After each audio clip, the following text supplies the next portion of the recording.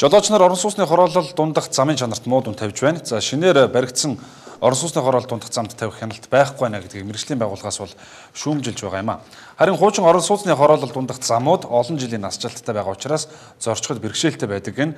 За жишээ болгож иргэдээ санал авсан. За энэ дагуу манай сурвалжлагч газар дээр нь ажилласан байгаа. Тэгэхээр энэ мэдээллийг хүргэхээр студиуд баццэг ажиллаж байна. За мэдээний өөр хөтөлбөр үргэлжлэн тавхандээ ярилцлагын хэлбэрээр хүрэхэд бэлэн болоод байна. Ингээд студиуд ганц зэрэг баццэг нар ажиллаж байна гэдэг эдтэй холбогдё. Араа минь залуу. За орой минь. Тэгэхээр өнөөдөр баццэг бол хороолын дундах зам засвар ямар байдалтай явж байна. Бодит байдал дээр газар дээр ямар байна вэ гэдэг дээр бол очиод сурвалжлаад ирлээ л дээ. За бид өнөөдөр өглөө бас эфирт энэ асуудлыг ярьсан шүү дээ. Үзэгчтэй холбогдсон хэд хэдэн газрын байршлыг хийсэн. А дээрэс нь энэ интернетээр бас сошиалар бас нэг хэд иргэний санал авсан. За ингээд аваад үзэхэд Баян Монгол хорол одоо энэ шинэ хорол тэгсэн ирнэ ингээд зам нь тамтаггүй боллоо эвдэрсэн байна гэдэг шүмжлэг ирээд хэлжсэн. За дээрэс нь шорон замтай байх шиг байлээ шүү. Тий. Тэгээд гимтлийн арын замыг бас хэлсэн. Ер нь имлэг байдаг. Тэгсэр нэ орон сууц байдаг гэд бодоход их бэрхшээлтэй байдаг гэдэг зүйлийг ярьсан. Тэгээд ерөнхийдөө хамгийн олон санал ирүүлсэн энэ Баянгол дүргийн 10 дугаар орол байсан. Сошиалорч тэр хүмүүс холбогдсон ч тэр маш олон хүмүүс энэ асуудал дээр нэлээд шүмжлэлтэй ханц. Яагаад гэвэл энэ хороол өөрөө 80-аад онд бий болсон тэр үед тавигдсан зам өнөөдөрч байгаа. Нэг ч удаа засвар арчлалт хийгдэг өгдөг шүүмжлэлийг иргэдэн хэлээд байгаа л да. Тэгээ чум тэнд юу хийгдсэн гэхээр энэ хугацаанд бол иргэд ч юм уу контор ч юм уу зүгээр э, өөрсдөө очиод нэг ил сасгадаг ч юм уу шороогоор дүрдэг ч юм уу амт том том нүхийн ийм дүр зураг байсан гэдэг мэдээлэл байсан. Тэгээд би э, бас энэ хэсгийг сонгох бас өмнө 2 жил яг тэр зам дээр иргэд бас мэдээлэл өгөөд очиж сурвалжилж ирсэн. Тэгээд очиход бол ерөөсөө машины дуугу ямар хэмжээтэй дүүлээ тэр хэмжээнд нүх гарцсан. Тэгэнгүүт дээрээс нь бороо ороод нөгөөтийн далчдаг машинууд нөгөөх рүү явж байгаа эвдчихдэг ингээд бид нэр энэ татвар төсний ямар ч үр дүн гарахгүй байна гэдэг шүүмжлэг хилээдсэн учраас энэ 10 дугаар оролтыг бол онцлсан. Тэгээд нэн төрөнд бол эхлээд иргэд өнөөдөр яг 10 дугаар хороолол гэлтгүй нийслэлийн хэмжээнд байгаа орон сууцны хороол дунтах зам а дээрэс нь тусдах замнууд дээр чанарын тухайд ямар үнэлэмж өгсөн бэ гэдэг жолооч нарын яриаг авсан ба энэ ярианд анхаарлаа хандуулах уу Ер нь л гिचүүдээ бол бие биенээ тойрол мөргөлчихгөө энэ онголтоо юу онгорхоо нөхнүүд нь бол хэцүү байдэн шүү дээ. Ер нь ихэнх нь л тааруул байдэн шүү дээ. Дандаа жил руу засаал хаагаал эвдэл байж дээ. Наал. А? Мо хийж яхад юм хачин юм яах биш. Дуусных нь шалгаж яагаад одоо энэ агуур тоглоомч арилгалгүй шууд шороо асгаж чинь эргэл хойдон гихт нураад байна шүү дээ. Зам дээр бол мэдээч их хэмжээний мөнгө идчихэл байгаа. Би бол тэгж дуудаж. Тэгэхээр яг энэ замын хагархаа. За мэрэгжлийнхний хэллэгээр бол энэ замыг гагнана гэж ярьдаг юм билэ. 11 компани энэ жил бол тендер чалгараад зам засварын ажлыг гүйцэтгэр болсон юм билэ. За 15 мм буюу одоо 1 см одоо өргөнтэй хагарсан байх юм бол тэрийг бол зүгээр гагнадаг юм байна л да. А түүнээс дээш байх юм бол асфальтын бетоноор одоо хучдаг юм. Одоо үзэгч тав хүн бол манай цонхоор харж болно л да. Энэ замыг харах юм бол аалзны тор шиг хэрсэн байдалтай байгаа. Энэ бол хурд дундас үер борооны улмаас олж бол их бий болдог. Тэгэхээр шинээр тавьсан 1 2 жилийн настай энэ шин замууд ингэж харагдаж байгаа юм чинь 35 жил болсон одоо 10 дугаар хороолын зам бусад одоо хороолын дундах зам бол ямар байгаа нь бол өнөөдрийн дүр зургаас бол харагдаж байна л да. За гэтэл ч одоо ер нь жил болгон тээврийн хэрэгслүүд бол жилд нөгөө моторын хэмжээнээс хамаарат татвар төлж байгаа. За дээрээс нь зам ашигласны төлбөр гэдэг ингээд мөнгө төлж байгаа шүү дээ. Тэр энэ зам ашигласны төлбөр маань ер нь үндсэндээ хэрхэн яаж захиран зарцуулагдаад байна гэдэг асуудлыг бас бид нэлээд олж хүндэх хэрэгтэй юм шиг байна. Энэ мөнгөөр чинь одоо энэ зам арчилтыг л хийж байгаа. Гэхдээ яг ямар зарчмаар ямар дараалал хийгдэт байна. Үнэхээр энэ бүх мөнгө маань энэ зам руу орж чадж гэнэ үү? Эсвэл нэг хэсэг нь одоо албан тушаалтнууд юу гэдгийг хойлдож хоорондоо идэж дуусгаад нэг үлдсэн хэсэг жоох хэсгээр нь арчилгаа хийгээд байгаа юм уу?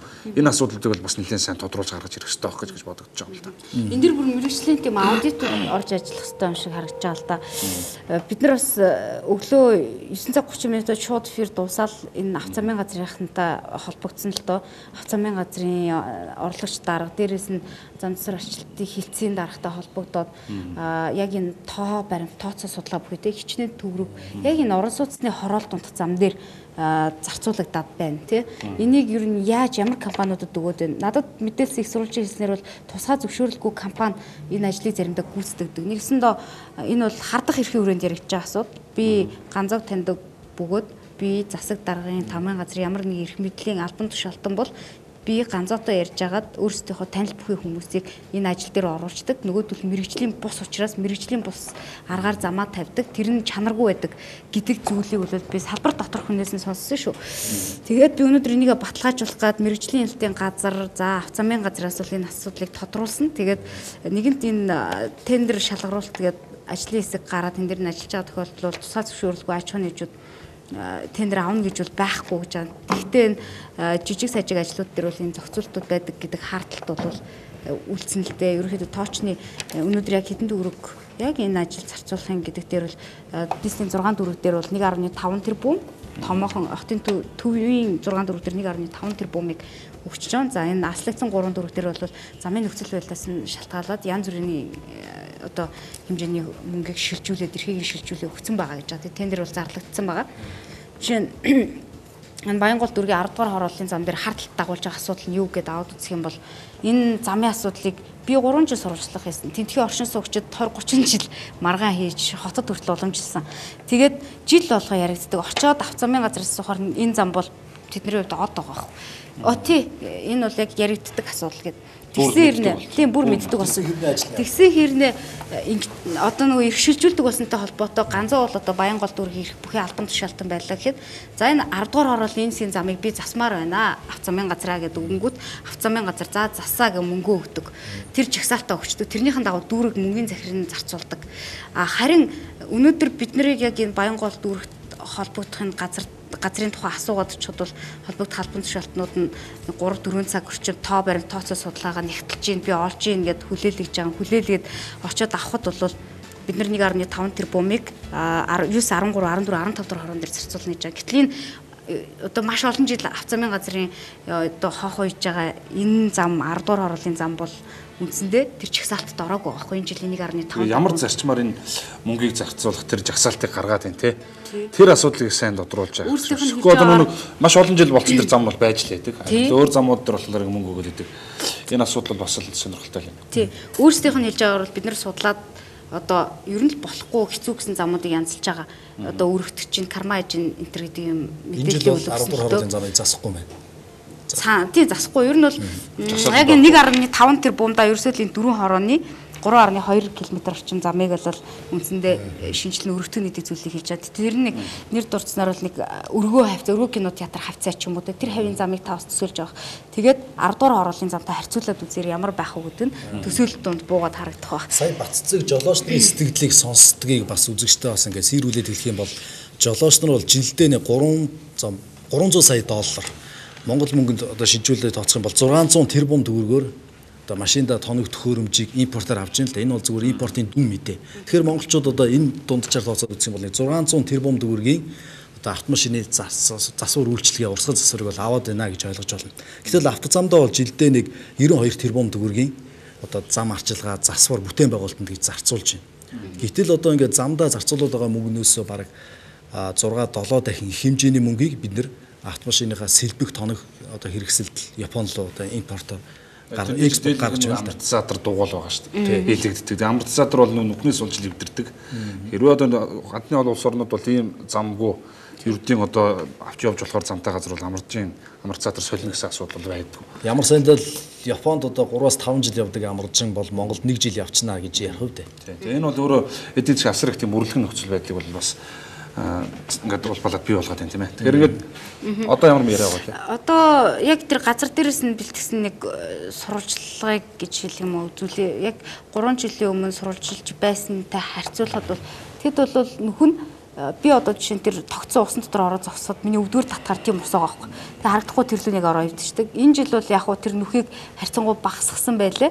Аа тэгээд тэгтээ бид оршин суугчдын 20 жил 30 жил амьдарч зарим иргэнтэй уулсан байгаа. Тэгээд энэ ярианд хөтлөлттэй байгаа анхаарлаа хандуулаа явуулсан яа. Яг энэ зам дээрээс би 3 дахь жилдээ сурвалжлах хийж байна.